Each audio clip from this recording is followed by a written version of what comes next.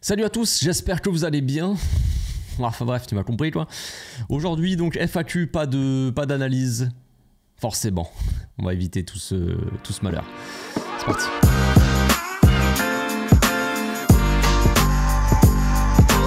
Au passage, n'hésite pas à nous rejoindre si c'est pas encore fait et à partager la chaîne autour de toi, ça fera plaisir à tonton. Vous avez été nombreux hier soir à participer à la FAQ sur Instagram. Euh, merci à tous d'avoir participé déjà.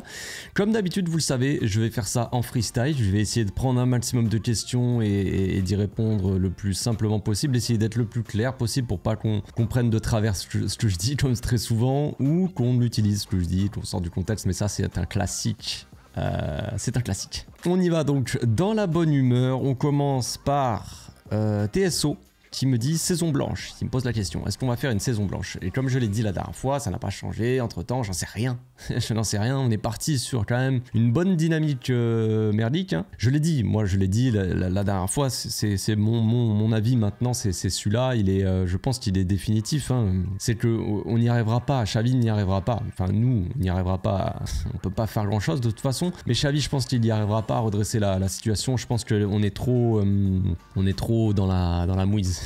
pour qu'on arrive à redresser euh, tout ça. Donc est-ce qu'on va faire une saison blanche ou pas? J'en sais rien, mais on est quand même bien parti pour. Maintenant, si l'équipe se réveille hein, sur Soderjoy et tout ça, on peut toujours y croire, j'en sais rien. Moi, j'y crois plus trop. Je vous avoue, comme je l'ai dit, même si on change de coach, je pense même pas que l'équipe va réussir à, changer cette dynamique-là, quoi. C'est tout. Ensuite, on a Maxime Gutz qui dit Quel 11 mérite de jouer selon toi dans l'attitude plus que dans la qualité? C'est ça le problème de toute façon dans un premier temps. On a, quand même des joueurs de qualité qui ont perdu confiance, je pense. Est-ce que c'est la faute du coach? Est-ce que c'est la faute des résultats? Est-ce que c'est la faute d'un tout? Je, Bref, ça, je vous laisse euh, décider. Mais, euh, mais c'est sûr que déjà dans l'attitude, moi je le dis, je le répète, tu peux avoir un manque de confiance, tout ça, mais dans l'attitude, tu te dois toujours d'être irréprochable et de montrer l'exemple et de, de faire les efforts, tout ça. Et c'est pas le cas. C'est clairement pas le cas euh, actuellement. Du coup, c'est déjà un premier point qui devrait être la base, tu vois, du football et, et qui ne l'est pas, qui n'est pas présent, qui n'est pas là.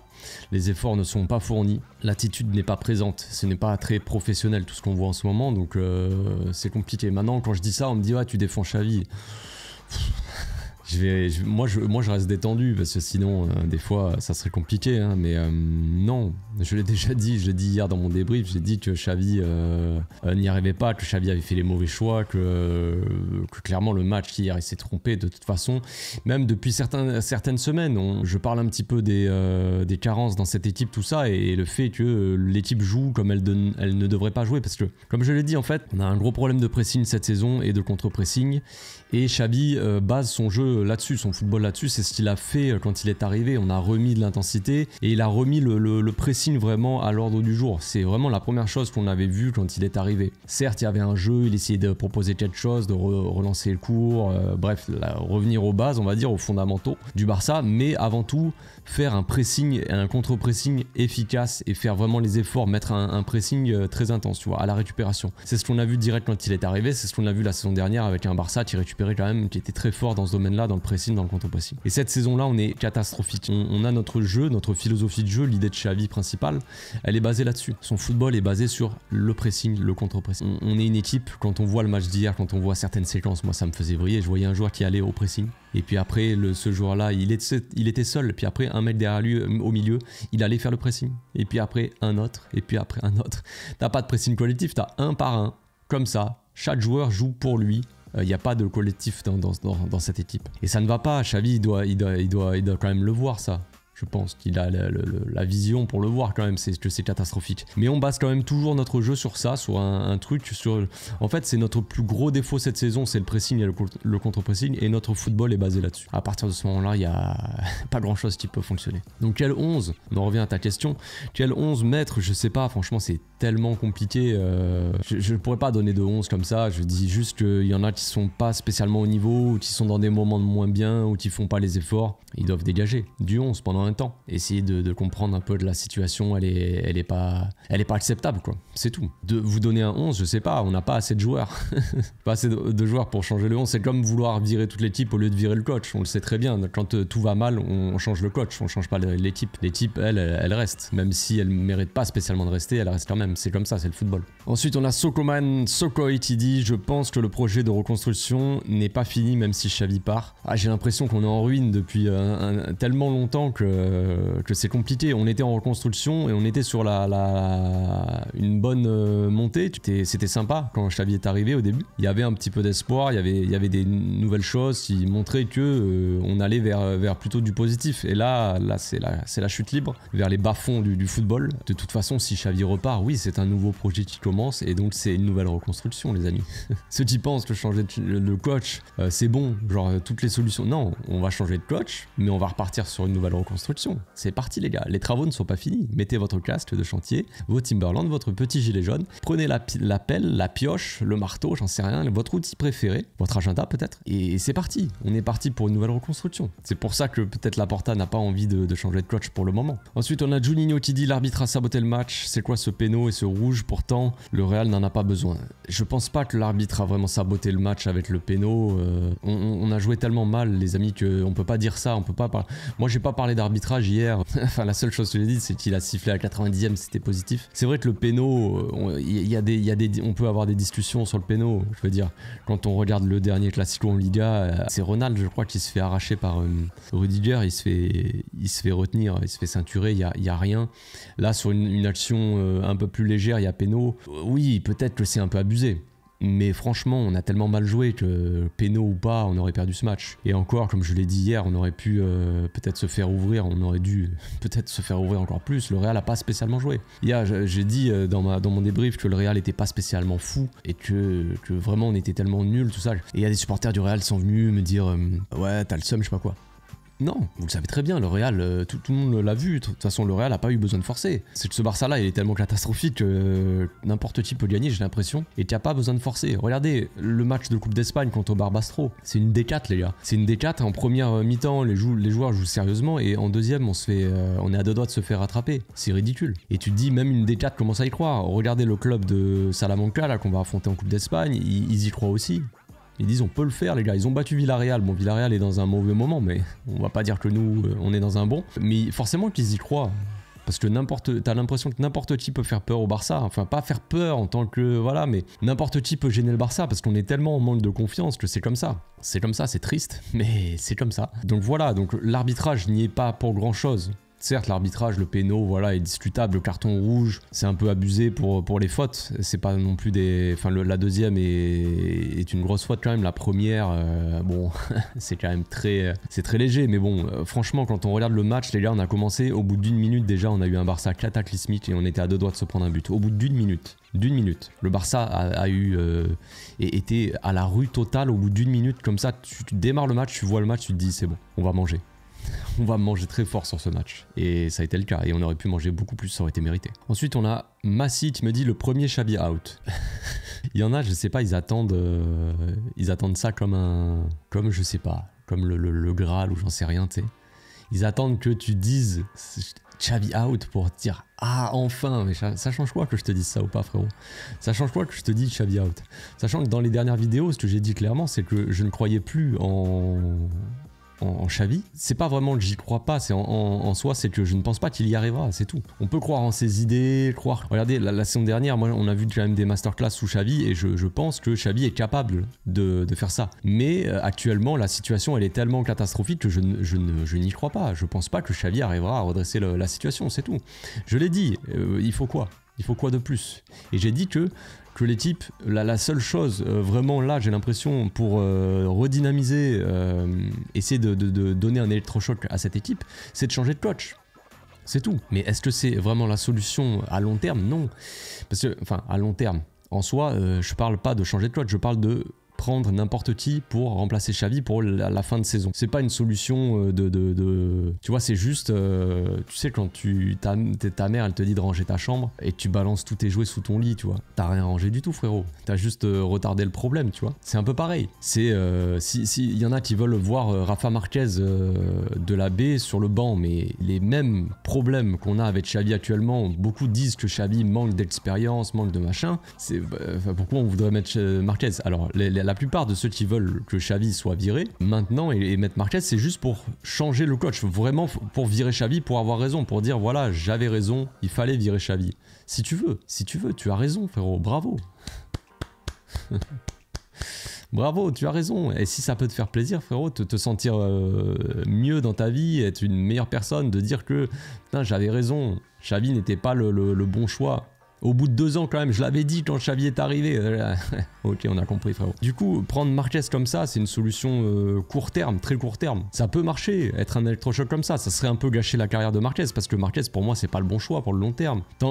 Tu, entames un nouveau projet, tu vas aller chercher un, coach comme ça qui n'a pas d'expérience. Encore une fois, tu vas retomber dans, dans le même truc. Si Xavi, sans expérience, n'y est pas arrivé, Marquez n'y arrivera pas. Je pense pas. Tu vois, il n'y a pas de raison. Après, peut-être que Marquez est un génie du football et qu'il y arrivera. Ça me paraît quand même un peu euh, compliqué. Donc voilà, si on doit changer et, repartir sur un nouveau projet, il faut repartir sur un nouveau projet solide. C'est tout ce que je dis, moi. C'est tout ce que j'attends. Moi, je n'attends pas. Je pense que Xavi a scellé son destin hier soir. Il a scellé son destin. J'avais dit, quand on est revenu de trêve, de fête là, fiesta de famille, euh, j'ai dit que j'attends un changement dans les types. Alors je ne suis personne pour attendre un changement, mais en tant que fan, en tant que supporter juste, j'attends un changement dans l'équipe. J'attends un électrochoc et que Xavi, c'est maintenant ou jamais frérot. si tu veux changer quelque chose, la dynamique de l'équipe, il faut vraiment faire des choix forts. Et il n'y a aucun choix fort qui a, été fait. Le seul choix fort, c'est de remettre Sergio Roberto dans le 11. T'imagines le choix fort, quoi. Donc il n'y a pas de choix fort. Il n'y a pas de choix fort qui a été fait. Xavi, c'est pas cohérent ce qu'il est en train de faire. Il est en train de s'embourber dans son truc, dans ses idées, et il n'y a plus rien de cohérent. Comme je l'ai dit juste avant, euh, il base tout son jeu sur du pressing et du contre-pressing, mais on n'est pas, est catastrophique dans ce domaine-là. Il a dit lui-même de nombreuses fois que le poste de 6, c'était un poste fondamental. Et cette saison, on joue sans 6. Qu'est-ce qui se passe, frérot? Alors attends, pour toi, avoir un 6, c'est fondamental, mais par contre, tu entames toute une saison à jouer sans un 6. Et on voit que c'est catastrophique, on le voit depuis des semaines, des matchs et des matchs. Je l'ai analysé, je l'ai montré, je l'ai dit. On n'a pas de 6. Et le fait de remettre un 6 dans cette équipe, les gars, ne résoudra pas tous nos problèmes. C'est pas parce que d'un coup tu vas mettre un 6 que d'un coup c'est bon, nickel, on va savoir défendre. Mais c'est juste que ça n'aide pas. Non seulement tu n'as pas de 6, mais il y a tellement de défauts dans cette équipe et dans ce coaching et, dans tout que c'est pas juste le problème de, de 6 quoi c'est bien plus profond que ça. les problèmes sont plus profonds, sinon ça serait trop simple. C'est comme dire que je vois ça souvent dans les commentaires, ça me fait, ça me fait marrer, mais bon. Quand je lis que Xavi est le seul problème de l'équipe, non. Moi j'aimerais bien, j'aimerais beaucoup les amis. J'aimerais énormément que le seul problème de l'équipe actuelle, ça soit Xavi. Parce que ça voudrait dire que tu changes de coach, tu mets n'importe qui et tout va bien d'un coup. Dans le meilleur des mondes, on revient, euh, on, fracasse tout, on met des manitas à tous les, tous les matchs. Non, ça marche pas comme ça. Le problème est beaucoup plus profond. Le problème, il est de A à Z, de la direction jusqu'au terrain. Il est dans tout. Il est dans tout. On parle du, souvent du staff de Xavi, qui n'est pas au niveau par rapport à, Xavi. Xavi est un peu en manque d'expérience. Il devrait avoir un staff beaucoup plus expérimenté pour l'aider, pour le soutenir. Mais c'est qui qui a choisi son staff? C'est lui-même, c'est Xavi. Il est venu avec son staff son staff de préparateur. On dit que le problème c'est aussi parce qu'il y a les blessés, machin, mais qui c'est qui, prépare l'équipe? C'est le staff de Xavi. Qui c'est qui analyse les matchs? Et qui c'est qui prépare les matchs, les analystes et tout ça? C'est le staff de Xavi. Donc oui, vous allez me dire que bah, tu es en train de dire que tout est de la faute de Xavi, mais qui a choisi Xavi? C'est la Porta. Donc en fait, il y, a des, décisions qui ont été prises sur un projet. Un projet, c'est un projet dans son ensemble. Il y a des joueurs qui ont été choisis pour ce projet-là, tout ça. Et, quand de A à Z, ça ne fonctionne pas, quand c'est le bordel de, dans, tous les, compartiments du club, ça ne peut pas être juste Xavi qui, est le problème. Ça serait trop simple. Et, et franchement, ça serait vraiment une bonne nouvelle.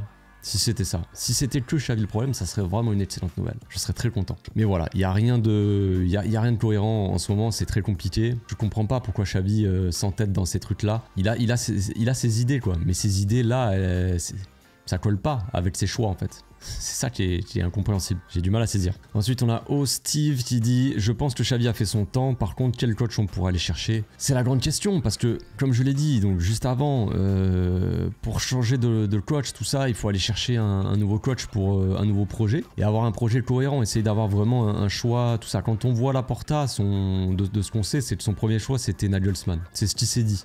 Nagelsmann n'était pas euh, disponible, tout ça. Xavi était dispo, il avait envie de revenir au club. Xavi aussi de, reprendre le club euh, avec une situation financière catastrophique et de ne pas pouvoir bouger vraiment sur le mercato euh, et, d'accepter sans broncher et de prendre toutes les critiques pour lui sans problème. Là, le problème, c'est que si Laporta va chercher un autre coach, un coach étranger, peut-être que ce coach-là n'acceptera pas de, prendre toute la sauce pour lui tout seul. Et peut-être qu'il attendra aussi de la direction vraiment quelque chose. Xavi, là, lui, il aime le club. Il aime le club plus que tous ceux qui, sont ici en train de regarder cette vidéo et moi-même. Xavi, il aime le club. Et il y en a, ils vont te dire, bah s'il aime le club, il a qu'à partir. Il va sûrement partir en fin de saison, les amis, vous inquiétez pas. Mieux vaut tard que jamais, comme on dit. Mais voilà, on verra. On verra si le prochain euh, coach qui sera là acceptera aussi d'être dans cette situation-là. On vient, on, attend de toi, euh, que ce soit la direction, les objectifs qui ont été fixés ou même les supporters, attendent de toi qu'on redevienne le Barça de Guardiola. C'était quand même très marrant, je vous avoue. Mais euh, bref, euh, donc on revient au niveau du Barça de Pep et euh, tout ça avec en, mettant 3 millions sur Romeo, tu vois. Par exemple, hein, c'est un exemple. C'est juste un exemple. Ne vous inquiétez pas. Il faudra que ce coach-là accepte ça. Donc la Porta, il faudra qu'il prenne des risques aussi. Parce que le, choix de, prendre Xavi n'était pas spécialement un risque pour la direction. Parce que Xavi est aimé de tous les coulés, tous les supporters du Barça, les coulés, je parle. Je parle pas. Il y a les supporters du Barça, il y a les coulés, c'est différent. Personne n'était vraiment contre en soi. enfin, tout le monde était conciliant. Forcément, il y a des supporters qui étaient euh, contre l'arrivée de Xavi parce que manque d'expérience, tout ça, que c'était peut-être trop tôt pour lui. Mais pour la plupart, on va dire, des, supporters, c'était le choix des émotions, le choix du cœur, tout ça, le retour de Xavi, légende du club. C'était pas un risque pour la Porta de, faire venir euh, en tant que président. Parce que dans le pire des cas, il échouait, bah c'était Xavi, il n'avait pas d'expérience. Et dans le meilleur des cas, euh, si Xavi avait réussi, la Porta pour son deuxième mandat aurait été encore une fois le sauveur du club. Et là, on se dirige pas vraiment là-dessus. Bon, donc euh, pour la suite, quel coach aller chercher? Euh, Moi, je l'ai déjà dit, Flick, on, revient à chaque fois, à chaque fois qu'il y a une défaite du Barça, on vient. Alors, euh, Flick, c'est toujours. je préfère pas répondre à chaque fois parce que sinon, sinon je vais, je vais perdre mon compte Twitter, je vais perdre mon compte YouTube. Mais bref, donc je ne suis pas spécialement fan de Flick, effectivement. Après, faire venir Marquez, par exemple, de la B, moi je trouve que c'est un choix hâtif et un choix qui ne, qui, qui n'est pas le bon. C'est se remettre dans le truc de le choix de Xavi, mais en pire. Même si Marquez fait du très bon travail avec la B, hein, il est dans un travail de centre aéré, Marquez, hein, les gars. Il est dans un, travail de développement de jeunes. C'est pas les mêmes, du tout le même travail euh, en étant coach d'une équipe B, une équipe réserve, et être le coach d'une équipe première. C'est pas les mêmes objectifs, ça n'a rien à voir, tu vois. Il peut perdre 5-0, il peut finir 15ème pas de problème, son poste ne sera pas mis en danger, il pourra exposer ses, idées, il aura tout le temps possible, il n'y aura pas de pression, d'objectif, de résultat vraiment quand tu es en réserve. Donc c'est pas le même métier. Moi je suis d'avis il faut faire venir euh, un coach qui, a l'expérience de l'Europe et un coach qui a des idées très claires sur son jeu et qui colle quand même un minimum avec le jeu du Barça aussi. Ça parle d'Antonio Conte aussi, c'est pareil. Moi, je suis pas fan du tout du coach. Je pense pas que ce soit un bon choix. Mais euh, après, voilà, moi j'aime beaucoup par exemple Xabi Alonso, des mecs comme ça. Mais Xabi Alonso, déjà, c'est un Madrilène. après, ça parle de Mitchell, coach de Giron, comme s'il était expérimenté. Euh, il fait du très bon travail avec Giron, mais c'est à Giron, c'est différent. C'est comme dire que, regardez, Garcia il était mauvais chez nous, Eric Garcia, et quand il va à Gironne, il est très bon. Parce que c'est pas le même club, c'est pas le même objectif, c'est pas la même pression, c'est pareil pour les coachs. Donc il y a Michel, il y a Garcia Pimienta, mais c'est pareil, il a aucune expérience non plus. C'est des coachs qui ont un peu l'ADN Barça, tu vois, et il y a des Herbie aussi, tu vois, des coachs comme ça, mais hum, est-ce qu'il faut pas prendre un coach encore euh, au-dessus? Mais quel est vraiment le coach euh, libre cet été? Bah libre maintenant, il y en a pas beaucoup, hein, mais libre cet été et hum, qui pourrait vraiment euh, essayer de relever le club, prendre ce club en main et, le relever. Je ne sais pas trop, je ne sais pas trop. Je pense que dans tous les choix qui ne, qui ne sont pas vraiment euh, idéaux pour moi, euh, ce serait Nagelsmann, je pense, euh, là comme ça. Après, comme j'ai dit, j'aime beaucoup Xabi Alonso, Deserbi, leurs idées, tout comme ça, mais est-ce qu'ils réussiraient J'ai déjà exposé mes idées, après on me tombe dessus, ouais, n'importe quoi, tu dis que ces coachs sont meilleurs que Xavi, je sais pas quoi. Ah, c'est pas ce que j'ai dit, non. Ce que je veux dire, c'est que c'est la même chose. Prendre des coachs comme ça qui n'ont pas d'expérience dans des gros clubs euh, où il y a une forte pression, c'est reprendre des risques à euh, retomber avec un coach qui euh, va peut-être se casser la gueule dans un club où, il y a autant de pression qu'au Barça. On le sait, ce- cet environnement, il est néfaste. On l'a vu hier soir. On l'a vu hier soir, Victor Fonte. Pour ceux qui connaissent pas Victor Fonte, c'est celui qui, était- qui s'était présenté contre Laporta pour être président. S'était présenté, puis après Laporta était revenu et Laporta avait tout, et avait tout fracassé parce que c'est Laporta. Donc Laporta se présente, il est élu juste. C'est comme ça. C'est Laporta quoi. Et Victor Fonte a, le seum. Et dès qu'il peut euh, essayer de tomber sur la direction, euh, il le fait. Donc à la moindre déroute du club, il va, comme un beau supporter du Barça, moindre défaite, il va tomber sur, tu vois. Donc ce club est néfaste aussi. Ce club est très néfaste. Donc t'as Victor Font qui nous fait un grand discours, un grand pavé sur, euh, Twitter hier après la défaite et tombe sur la direction en disant que, que c'est- géré de manière catastrophique, le club doit être euh, repensé, machin. euh, ça passe par les directions. Alors Victor Font ne va pas tomber sur Xavi parce que c'était son choix. Euh, Victor Font voulait, lui, son programme c'était aussi basé sur le retour de, de Xavi. La Porta, lui, c'était sur euh, on garde Messi. Chacun son truc. Euh, donc le mieux, c'est d'avoir quand même un projet sportif cohérent. Donc, euh, donc voilà. Mais bref, tout ça pour dire qu'un coach, il va venir ici et l'environnement, il va être néfaste de fou. Regardez, regardez Victor Fonte, un mec qui se présentait à la présidence, voilà, la dé- à la première défaite euh, humiliante comme ça contre le Real, voilà. Allez, il sort son discours politique pour, pour ramener. C'est des trucs égoïstes. C'est chacun veut, euh, veut avoir la lumière sur lui, chacun veut. Personne ne pense vraiment au club. Ils font genre, ouais, moi je pense au club, pour le bien du club, il faudrait. Pense là ta tronche, arrête, arrête tes conneries. Donc là, il y a un coach étranger qui va débarquer là-dedans. On va voir ce que ça va donner, mais c'est sûr qu'il est, pas prêt, le gars. il est pas prêt. Nagelsmann, il s'est fait dégager du Bayern Munich euh, parce que ça ne fonctionnait pas, tout ça. Il avait perdu le vestiaire. Donc pourquoi pas Pourquoi pas ramener un coach qui avait perdu son vestiaire au Bayern, voir s'il peut euh, gagner le vestiaire du Barça Je- J'en sais rien. J'en sais rien. euh, quel est vraiment le choix idéal Pour moi, le choix idéal, il est impossible. Il y en a deux. Il y en a deux. Mais peut-être que je vis trop dans le passé, comme beaucoup de supporters. Beaucoup de supporters vivent dans le passé en, voulant que, en regardant le, le- bon pour ceux qui l'ont connu, parce qu'il y en a qui l'ont pas connu, mais euh, il y en a qui sont devenus fans du Barça. hein. Là, là, en 2020 ou 2022, les pauvres, je les plains. Mais il y en a qui ont vécu l'ère Guardiola, l'ère Luis Enrique, tout ça, et qui veulent euh, et qui, attendent que le Barça euh, de Xavi joue comme ça et qui vivent un peu dans le passé. Peut-être que donc moi, je suis aussi à vivre dans le passé, à vouloir ramener euh, encore éternellement Guardiola ou Luis Enrique. Mais pour moi, c'est les seuls vraiment choix qui qui ramèneraient le club vraiment. Là, tu te foutrais une grande claque. Et un mec comme Luis Enrique, euh, il viendrait, si tu, si, tu, si tu montres pas sur le terrain euh, ce qu'il faut, tu, tu dégages fort. Tu dégages fort. Luis Enrique, il en a dans le, dans le calbut. il en a une grosse paire, quoi. Donc, euh, si t'es pas content, tu dégages. Le mec s'est embrouillé à moitié avec Messi, Luis Enrique. Il s'en fout. Il sortait Messi, et Messi était pas content. C'est pareil.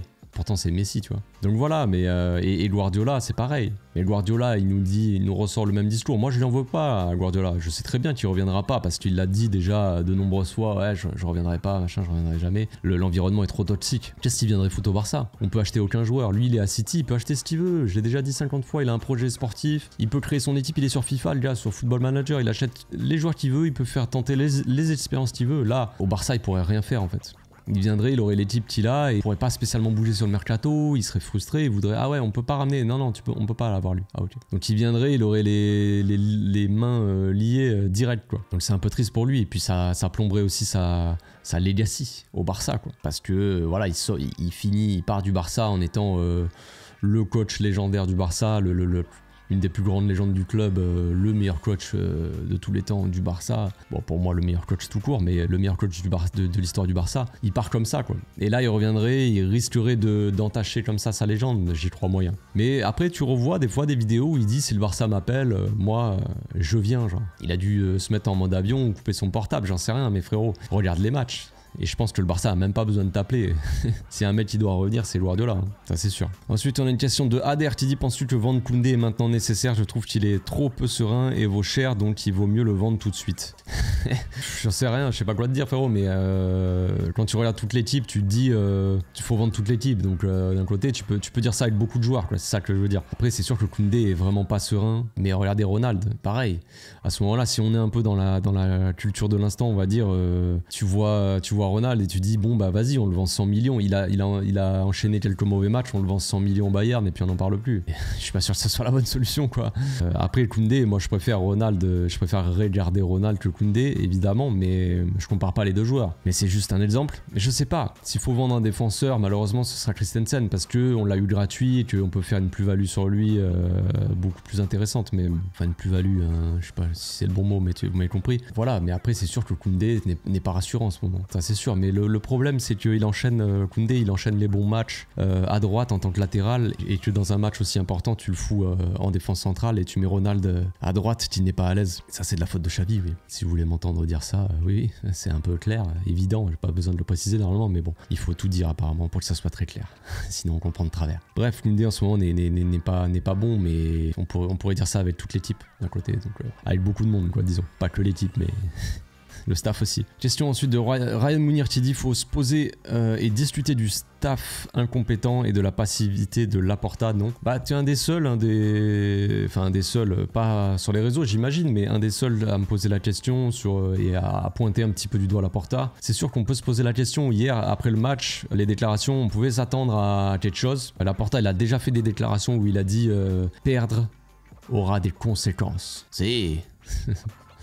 bon, euh, pas tant que ça finalement. Voilà, le, staff technique est incompétent. Je pense qu'au bout d'un moment, on l'a compris. On en est tous conscients. Le staff technique, que ça soit le coach ou tout le staff technique, en fait, quand on parle de staff technique, évidemment, on englobe tout le monde, hein, le coach, tout le monde. Euh, tout le monde m'a l'air d'être assez incompétent et ne m'a pas l'air d'être assez au niveau pour redresser cette équipe. Ça me paraît assez évident maintenant, euh, c'est très clair, il n'y a pas de changement, il n'y a pas d'électrochoc, il n'y a rien, on dirait qu'il y a une passivité totale. Les joueurs sont très passifs sur le terrain, mais le staff technique est à l'image de l'équipe, elle est passive il est, il est, passif le staff. Ils ne font rien, ils sont là à répéter la même chose, les mêmes erreurs en, espérant un autre résultat. Il n'y a pas de gros électrochoc, de gros changements dans l'équipe, euh, donc tu peux pas t'attendre vraiment à un gros changement. C'est tout, c'est comme ça. Maintenant, euh, après, la, après la défaite hier, tu as le, la direction, Deco, tout ça, qui. Euh, Deco, il a fait une déclaration, il a dit on n'a pas l'argent pour acheter d'autres joueurs. Nous n'avons pas l'argent pour acheter des joueurs. Genre. Alors, c'est sorti de son contexte, je pense, parce que je sais pas trop pourquoi il a dit ça.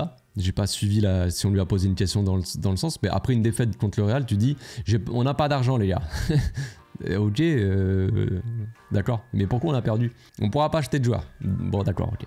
Ça marche. Au moins, ça pose les bases. Donc là, la déclaration pour moi, elle est assez intéressante parce que Deco, il dit on n'a pas l'argent pour acheter des joueurs. Et tout le monde veut que Xavi parte en espérant que, euh, je sais pas, qu'on pourra acheter des... Il y en a qui pensent ça, il y en a vraiment, hein. premier degré. Je, moi, je pensais que c'était des vannes au début en voyant ça, mais non. Il y en a qui pensent que quand Xavi va partir, on pourra acheter des joueurs, tu Genre, Xavi va partir et d'un coup, on pourra reconstruire l'équipe, on va aller chercher... Euh, Haaland, euh, je sais pas qui, tu vois. Mais non, frère, l'argent n'a n'a pas de club. Le, si, si, si, l'argent a des clubs. Le, mais le club n'a pas d'argent, n'a pas spécialement. C'est pas que le club n'a pas d'argent, soit, c'est qu'on ne peut pas le dépenser. On est toujours bloqué, fair play, tout ça. Mais ça, c'est pareil. C'est, chacun doit faire son travail, j'ai envie de dire la direction doit faire son travail pour faire en sorte que le coach puisse travailler dans les bonnes conditions. Je dis pas que si Xavi là concrètement et n'y arrive pas, c'est à cause de, de Laporta. C'est pas ça que je dis. Là, les raccourcis ont été faits direct. Ah, le commentaire, ah, calme-toi frérot, calme-toi. Tu as compris de travers encore une fois. Mais ce que je veux dire, c'est que d'un côté, tout est lié en fait. Tu n'arrives pas à avoir une situation financière saine, tu ne pourras pas travailler dans les meilleures conditions. Je pense qu'on est tous d'accord là-dessus. Je pense qu'on est tous d'accord là-dessus parce que si tu ne peux pas acheter les joueurs que tu veux, si tu ne peux pas construire une équipe, tout simplement. Eh bien, comment veux-tu avoir un projet solide derrière? Parce que le projet est, euh, posé, on va dire, et euh, tient sur, euh, sur, sur. Et le projet, alors mais oui, mais c'est bien, mais il faut construire une équipe aussi. Il faut avoir un staff, construire une équipe, et, le projet, c'est un, truc global. Sans être sain financièrement, sans pouvoir euh, être actif sur le, marché vraiment comme tu veux, tu ne peux pas construire vraiment un projet en soi. Ça, ça me paraît assez logique. Donc c'est comme ça. Moi, le, moi c'est ce que j'avais dit quand, euh, quand on parlait de changement de coach. Même pour l'été prochain, j'ai hâte de voir ça. J'ai très très hâte de voir ça. Ça se trouve, on va changer de coach, les gars, mais on pourra acheter personne. Il y a des chances que ça se passe comme ça. Et puis rappelez-vous aussi, petit détail, j'y pense aussi comme ça, que Xavi est venu, euh, il a payé de limite de sa poche pour venir et il a un salaire ridicule. Il a été augmenté quand il a gagné la Liga, je crois. Donc cette saison, il a été euh, augmenté. Bon, ça se passe pas si bien que ça. Mais il a toujours un salaire ridicule. Si par exemple on ramène un coach expérimenté, ramenons Guardiola. Guardiola, vous, vous pensez qu'il va toucher le même salaire que Xavi? Ney, Esmeralda. Non, non, il va pas, il va pas, il va pas prendre le même salaire que Xavi, ça sera pas le, même cas. Donc, ramenons un coach d'expérience, mais il va falloir le payer aussi. Il va falloir payer le coach et il va falloir aussi que le coach arrive. Le coach va arriver avec un nouveau projet. Donc des nouveaux joueurs aussi qui vont devoir arriver dans l'équipe. Il va vouloir changer, il va vouloir dégager Sergio Roberto, j'imagine, Marcos Alonso, des mecs comme ça dont il n'aura pas besoin, il ne voudra pas. Donc il faudra essayer de les libérer ou de les vendre. Vendre nos joueurs actuellement, ils sont tellement mauvais que c'est très compliqué. Mais bon, il va falloir vendre les joueurs sûrement à perte et avec ça essayer de reconstruire une équipe en rachetant des joueurs. Cet été, on en a vendu des joueurs. On a vendu des joueurs pour pouvoir enregistrer Félix Sampré. Vous imaginez le, dans quelle situation on est. Donc voilà, euh, c'est sûr que le club doit discuter sur son staff et sur sa direction, sur dans quelle direction on va, quoi. Dans quelle direction la direction va. Parce que parce que c'est sûr que c'est compliqué à tous les étages, là, actuellement. Ensuite, il y a Andrea qui dit euh, c'est légitime si on lâche notre premier Xavi out. il y a un délire avec euh, Xavi out ou je sais pas quoi. Euh, je me rappelle aussi de Busquets Senel Banquillo, ça je me rappelle, euh, je me rappelle bien aussi. Je trouve ça, moi personnellement, c'est le tout le principe de propagande et tout ça que je trouve assez. Euh, j'ai pas envie de, rentrer dans ces trucs-là, mais après, vouloir changer de coach, oui, c'est légitime, c'est légitime. Il y a pas grand-chose à faire quand une équipe elle va mal, les amis. Tu peux pas changer l'équipe, tu peux pas vraiment changer toute l'équipe et dire bon ben on change. Même là, on voudrait changer toute l'équipe, on voudrait, on, pourrait dire, bah, on va mettre tous les joueurs de la, de la Marcia, des joueurs de la B, comme s'ils allaient faire mieux, tu vois. C'est pas non plus une solution miracle, hein, loin de là, forcément, ça se saurait. Mais même mettre les joueurs, si tu pouvais, déjà parce que tu peux pas, mais même si tu pouvais mettre tous les joueurs de la B, ça serait pas une solution, tu vois. ça serait pas une solution. Comme je l'ai dit, le mal est profond. Et le seul vraiment euh, fusible que tu peux faire sauter, c'est le coach. Quand une équipe ne tourne pas rond, quand une équipe s'embourbe vraiment dans les mauvais résultats et commence à chuter, tu changes de coach. C'est ce qu'on a fait avec Kuman, à juste euh, à, raison quoi. Laporta avait raison. La, Laporta a voulu euh, même quand il y avait Kuman, il voulait le garder, il voulait pas le virer au début parce qu'il attendait un petit peu parce que même c'est même pas qu'il voulait pas le virer, c'est parce que financièrement, je suis pas sûr qu'il pouvait se permettre vraiment de virer tout ça. C'est pour ça qu'on a galéré aussi à signer Xavi Xavi il a dû un peu payer de sa poche, payer le, parce que Xavi était sous contrat et que, et voilà, et son salaire était ridicule après à Xavi. C'est parce qu'il a dû faire des efforts, parce que euh, on a dû virer Kuman et du coup euh, lui donner l'argent. Là, c'est un peu la même chose avec Xavi, je pense.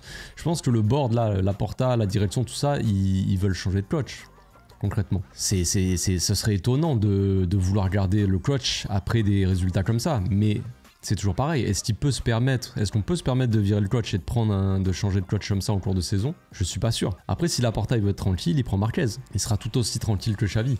Par contre, Marquez n'a pas la, il, n'a pas l'image qu'a Xavi. Quand, quand, Xavi est arrivé, bien sûr, pas maintenant. Donc, s'il prend Marquez là, ça serait peut-être mal vu pour Laporta. Donc, on entend souvent, ouais, l'option B c'est Marquez, je sais pas quoi. C'est l'option de, très peu de risques. Laporta, elle va peut-être prendre des, des, critiques, mais Marquez, c'est encore une fois, il peut mettre Marquez, il peut le dégager comme il veut, c'est pas grave, c'est Marquez, allez hop.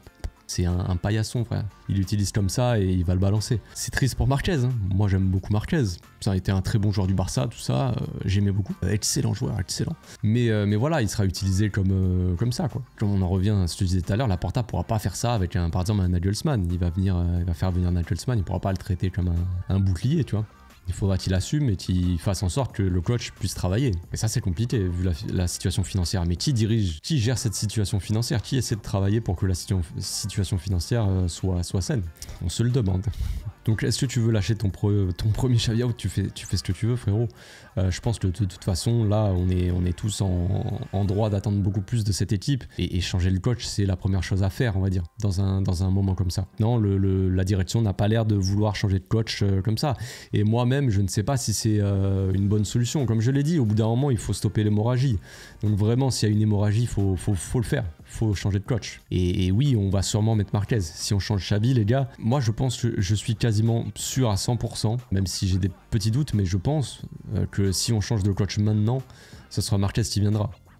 Donc est-ce que c'est une, bonne solution? Je sais pas. Mais peut-être que ça stoppera l'hémorragie. Hein. Ça c'est possible. Ensuite, question de Esteban pour finir. Cette équipe dégoûte par son attitude, aucun respect envers ce maillot et ce club mythique. Ouais, c'est on a perdu un peu l'amour. Euh, on ne sent plus cet amour euh, pour le maillot, pour le, pour fanion quoi.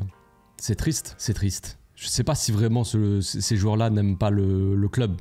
Parce que je pense pas que, par exemple, prenez Ronald. Je pense que Ronald est un des joueurs de l'équipe qui aime le plus le club avec Javi. Et je pense pas que Ronald du jour au lendemain il aime plus le club, tu vois, parce qu'il est mauvais. C'est vraiment une perte totale de confiance dans tous les sens du terme. Dans tous les sens du terme.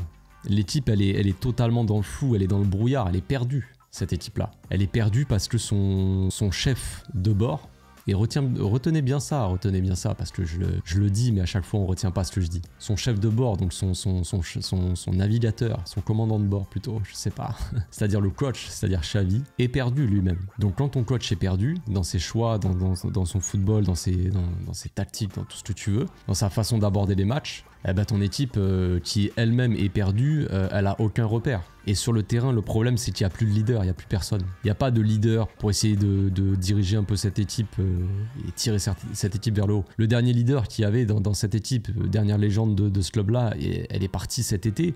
Certes, c'était peut-être il était peut-être temps pour Busquets de partir. Mais il aurait été temps aussi de trouver un remplaçant à Busquets et de travailler pour depuis déjà un certain temps. Mais les mecs, on aurait dit que non, ils voulaient pas travailler pour. Et me dites pas que c'est Xavi qui a pas voulu remplacer Busquets parce qu'il il en a donné des noms pour remplacer Busquets.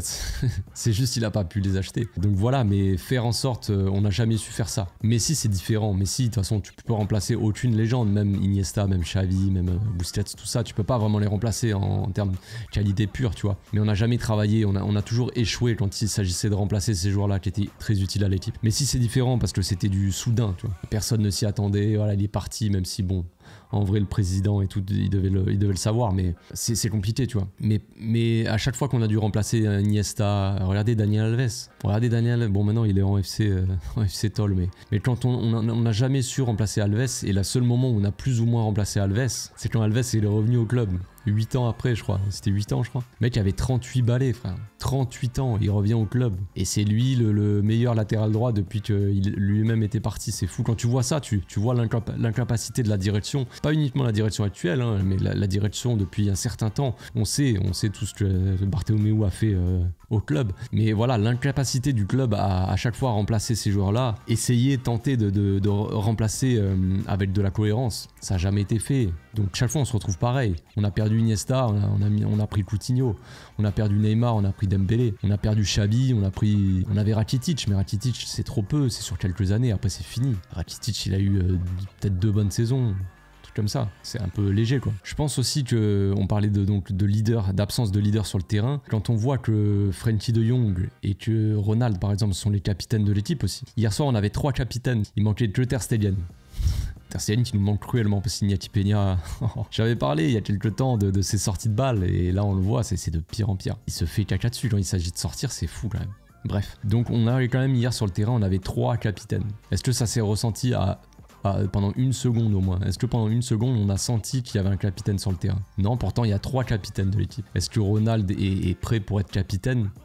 Quand on voit son match d'hier avec son carton rouge, son, manque de, lucidité, je ne sais pas, peut-être que c'était un peu tôt pour être vraiment ce leader de, l'équipe. Dans les moments difficiles, le ton capitaine, il doit être là, quoi. Et c'est compliqué, là. Il n'a pas été là. Frenkie, pour moi, n'a pas l'âme d'un capitaine, mais ça, c'est euh, un excellent joueur de football, hein, mais il n'a pas l'âme d'un capitaine. Il est totalement effacé comme personne. C'est comme ça. Donc voilà, tu n'as pas de leader comme ça qui, qui prend un peu le, le, pouvoir, quoi, on va dire, et qui... Euh, porte les types, au moins psychologiquement, au moins dans son discours, tout ça. C'est compliqué. Voilà où on en est. On va se laisser ici, les amis. Ça fait longtemps que j'enregistre maintenant. Euh, voilà. J'espère que tout le monde va bien.